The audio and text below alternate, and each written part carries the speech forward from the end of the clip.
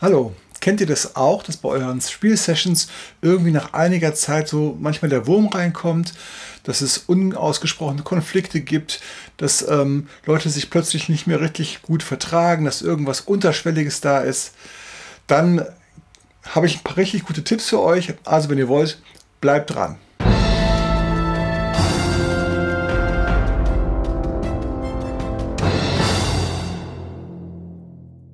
Hallo, mein Name ist Martin Schröer von D20 Sounds und ähm, ich habe vor kurzem in der Facebook-Gruppe mal gefragt, wer von euch alles Feedback macht. Und tatsächlich waren es eine ganze Menge von Leuten. Also die allermeisten haben geschrieben, wir machen Feedback. Und ähm, ich bin auch ein großer Fan des Feedbacks. Also man muss das nicht immer machen und nicht überall, aber in so Rollenspielrunden so ein kleines Feedback am Abend ist eine super Sache, um Streit in Zukunft zu vermeiden oder konstruktiv zu lösen. Und ähm, das kann, finde ich, total viel helfen. Und es ist vertrauensaufbauend. Und wer mich ein bisschen kennt, der weiß ja, dass ich ein großer Freund von Vertrauen bin.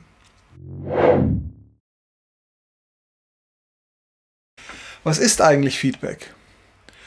Kurt Lewin hat, glaube ich, in den 50ern oder sowas ähm, mit ein paar Leuten, einem größeren Stamm von Leuten, ähm, neue Sachen gelernt. Es waren auch Sozialpsychologen dabei und die haben sich abends irgendwie so gegenseitig bewertet, auf eine bestimmte Art und Weise. Und haben festgestellt, dass diese, ich sage jetzt nochmal Bewertung, wir wissen ja schon, dass es eigentlich Feedback ist, in den einzelnen Menschen total viel gebracht hat.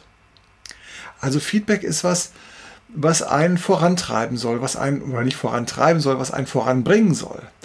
Ähm, ich denke über Feedback immer so ein bisschen nach, als ob es ein Geschenk ist. Ein Geschenk, was ich jemandem gebe, damit er sich weiterentwickeln kann, damit er vielleicht eine schlechte Eigenschaft durchblickt und abbauen kann oder eine gute weiter ausbauen kann. Das alles kann Feedback sein.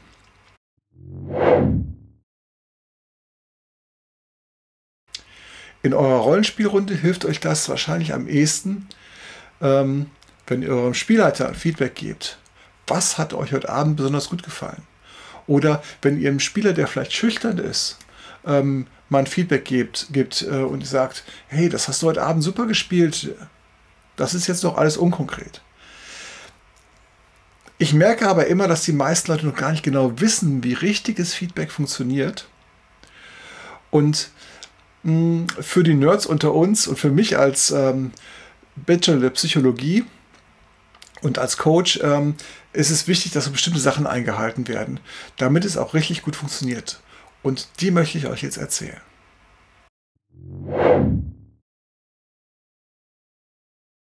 Also leider ist manchmal Feedback so ein bisschen in Verruf geraten, weil manche Leute das auch benutzen, um zu meckern oder nicht zu meckern.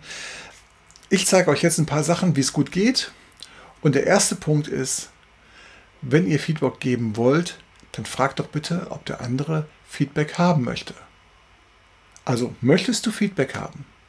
Ist was anderes, als denjenigen mit dem Feedback zu überfallen. Vielleicht hat er einen schlechten Abend, ist nicht super gut drauf und es ist ihm zu viel, jetzt Feedback zu bekommen.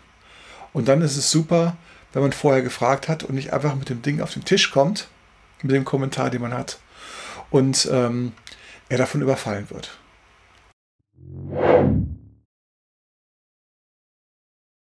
Zweitens ist es sehr wichtig, für gute Atmosphäre zu sorgen.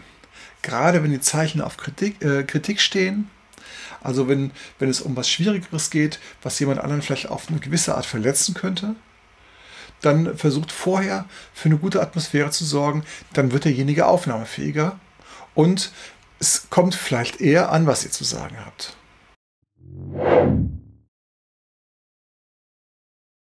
Drittens, gutes Feedback ist gut strukturiert und sachlich richtig. Also vermeidet solche Aussagen wie, heute Abend war es irgendwie nicht so cool. Das ist total schwammig und es bringt einem auch nichts.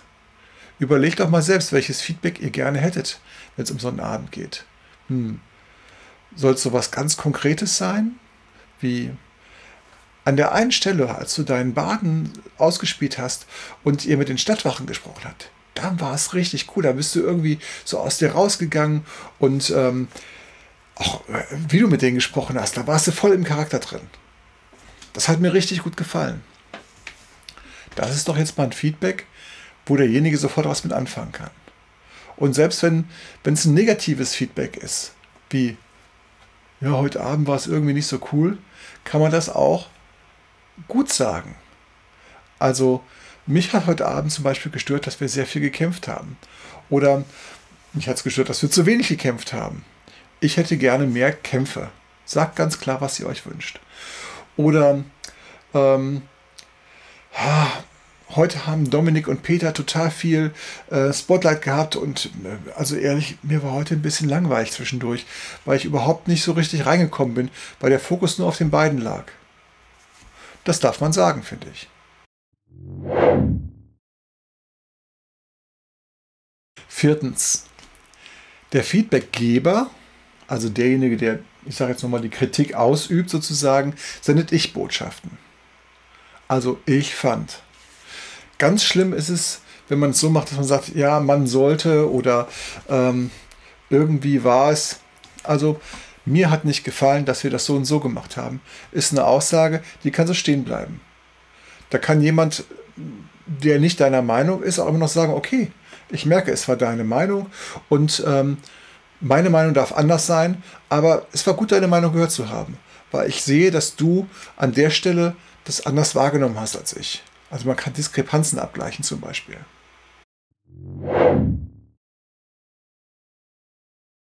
Fünftens passt bitte auf, dass das Feedback in irgendwie kleinen Portionen abläuft. Manchmal möchte man zu viel auf einmal und erstmal wird es dann schwieriger, sich alles zu merken. Und ihr wollt ja auch, wenn ihr was sagt, haben, dass es wirkungsvoll ist. Und zweitens wird es dann auch manchmal ein bisschen viel und der andere fühlt sich von eurer Kritik oder von eurem Feedback überfahren und ähm, zieht sich zurück und kriegt gar nicht mehr so viel mit. Also kleine Portionen, ganz wichtig.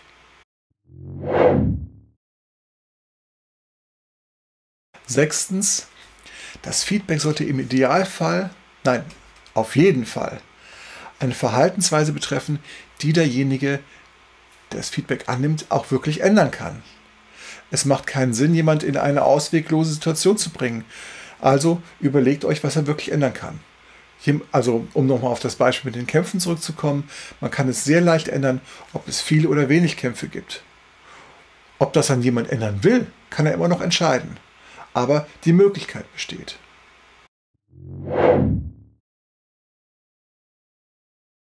Siebtens, wichtig ist auch, sich Feedback zu geben, wenn es richtig gut war.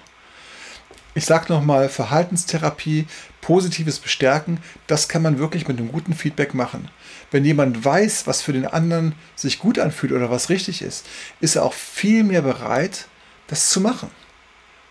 Ja, also wenn ihr, wenn ihr, wenn ihr sagt, heute Abend war es richtig gut, an der einen Stelle, deine Beschreibung war total klasse und das hat mich wirklich total mitgenommen, dann weiß jemand, oh, ich habe irgendwas richtig gemacht.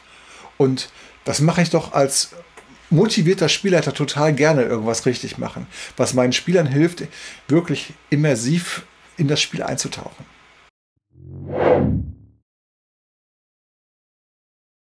Achtens. Also unterlasst auf jeden Fall so moralische Aspekte. Auch so Sätze, die mit man sollte unbedingt oder im Rollenspiel sollte nie, ja, also diese ungeschriebenen Gesetze, die manche von euch vielleicht manchmal im Kopf haben, die machen jemand, der andere Gesetze im Kopf haben, machen die es sehr schwer. Also macht nicht so was Moralisches draus, sondern sagt einfach, mir hat das und das nicht gefallen und nicht, äh, man sollte es grundsätzlich nicht machen. Das macht es wirklich sehr schwierig.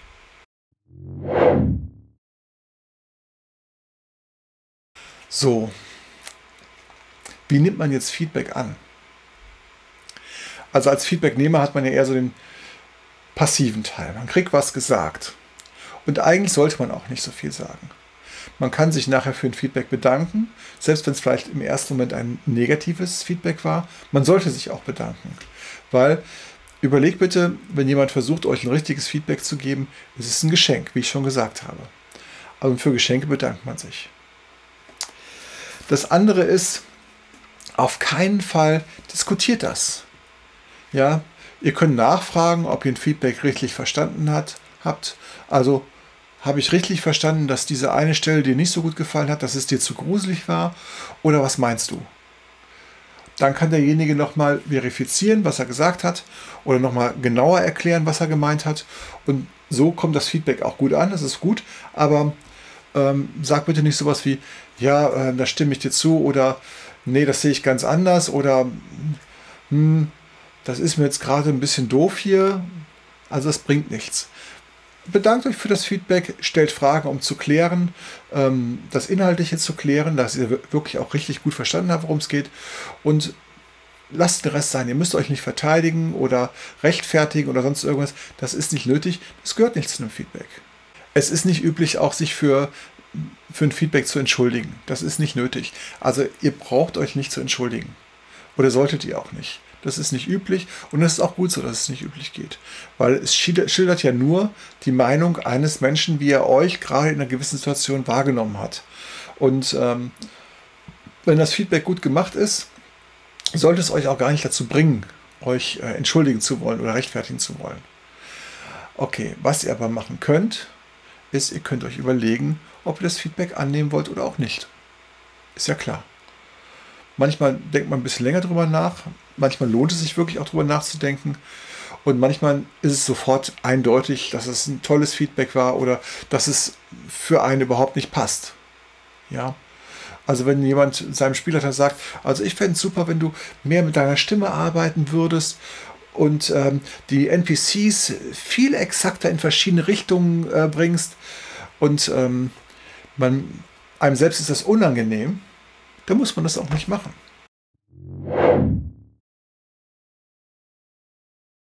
Eine Idee habe ich noch dazu und zwar, also ich finde es manchmal sehr gut, nach Feedback zu fragen. Eigentlich bin ich jemand, der oft nach Feedback fragt. Weil ähm, gerade in Fällen, wo ich unsicher bin, wie es bei jemandem angekommen ist, möchte ich gerne wissen, wie es passiert ist. Gerade beim Rollenspiel. Also war euch die Stelle gerade zu spannend oder war es okay? Oder ich habe heute was Neues ausprobiert.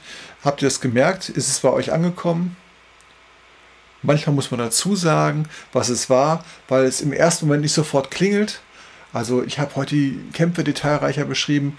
Wie war das für euch? Ja, war, äh, ach ja, stimmt ja. Nee, das war gut. Ich fand die Kämpfe heute richtig gut. Ja, ihr merkt schon, das ist, ähm, es fühlt sich auch gut an, danach zu fragen.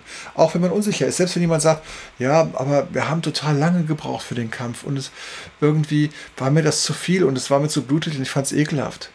Dann wisst ihr aber, wo derjenige steht. Ja, und vielleicht gibt es eine gute Lösung dazwischen. Also fragt danach. Ich kann da nur zu raten. Das ist eine gute Sache.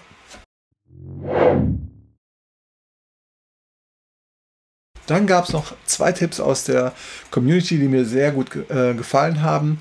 Und zwar, man bespricht am Abend, welcher Spieler Inspiration für irgendeine Sache bekommt. Also wenn jemand total super Rollenspiel gemacht hat oder eine total tolle Idee für eine Aktion hatte, dann bespricht man untereinander, dass jeder in der Gruppe einen Punkt vergeben kann zum Beispiel, wer den Punkt kriegt und wofür. Es könnte zum Beispiel eine Inspiration sein bei D&D oder ein Heldenpunkt bei Pathfinder oder sonst irgendwas. Also irgendwas, was, was Positives ist für tolles Rollenspiel, für tolle Ideen, für irgendwas Wahnsinniges. Was ich auch ganz wichtig finde, ist, wenn man, das war auch ein Tipp von euch, wenn man in einer, in einer Runde ist und jemand ähm, bringt sich selbst in eine schlechte Lage, nicht die Gruppe, sich selbst in eine schlechte Lage, dadurch, dass er seinen Charakter kohärent ausspielt, dann finde ich, ist das auch ein Punkt wert und denkt darüber nach, das bei so einer Feedbackrunde auch mal zu erwähnen.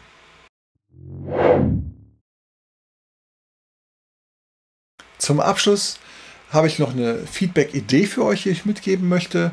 Die habe ich damals von meinem Coach-Trainer bekommen.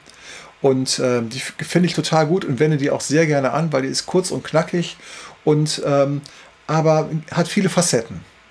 Und die funktioniert mit der Hand, mit unseren fünf Fingern. Und zwar, ähm, das war top. Also beschreibt, was an dem Abend für euch top war. Ähm, zum Beispiel, Sebastian hat super gut seinen Charakter ausgespielt. Ähm, zeigt mit dem Zeigefinger irgendwie. Ähm, darauf wollt ihr hinweisen. Ich möchte darauf hinweisen, dass wir heute Abend wieder ein bisschen besser geworden sind, dass wir sehr immersiv waren. Im Mittelpunkt, der Mittelfinger, ich zeige euch den jetzt nicht, ähm, sagt, das stand für mich im Mittelpunkt. Für mich im Mittelpunkt stand, dass wir heute viel gelacht haben, dass wir Spaß hatten. Das Schmuckstück, der Ringfinger, da sitzt ja der Schmuck normalerweise, sagt, was war mein Schmuckstück heute? Also mein Schmuckstück war ähm, diese tolle Szene, wo Philipp irgendwie mit, mit Ralf zusammen oder mit Judith zusammen ähm, die, diese eine Besprechung hatte und die waren beide total drin und es war total super. Und es gibt noch den kleinen Finger, was ist mir heute zu kurz gekommen? Da könnt ihr Sachen sagen wie, ja, äh, mir ist heute zu kurz gekommen, dass wir gelacht haben oder dass zwischendrin mal irgendwie ein paar Sachen erzählt wurden oder aber auch, mir ist zu kurz gekommen, wir haben gar nicht gekämpft und das, also einen Kampf muss ich haben oder irgendwas anderes, irgendwas, was euch gefehlt hat im Abend. Traut euch wirklich mal, diese Methode anzuwenden. Ich sage es, wiederhole es noch einmal. Das war top, der Daumen. Zeigefinger, darauf möchte ich hinweisen. Der Mittelfinger, das stand für mich im Mittelpunkt. Der Ringfinger, das war mein Schmuckstück. Und der kleine Finger, das ist für mich zu kurz gekommen. Und das ist eine super Methode, da kann man ratzfatz eben durchgehen. Ihr müsst auch nicht jeden Finger sagen. Manchmal sind zwei Finger auch für das gleiche da. Also Mittelfinger, unser Humor stand für mich im Mittelpunkt. Ringfinger, mein Schmuckstück, war der, der viele Humor, dass wir viel gelacht haben. Passt auch es ist, kommt nicht so genau darauf an. Wichtig ist es so, dass man alle Aspekte eines Feedbacks mal besprochen hat und so ein bisschen Spaß damit hat. So, jetzt bin ich ganz gespannt. Schreibt mal runter, ob euch das was gebracht hat, ob ihr vielleicht überlegt, das Feedback bei euch zu verändern aufgrund des Videos. Und ich freue mich über eure Kommentare. Und wenn es euch wirklich gut gefallen hat, dann teilt es doch mit ein paar Leuten und lasst ein Abo da. Bis dahin. Macht's gut, euer Martin. Ciao.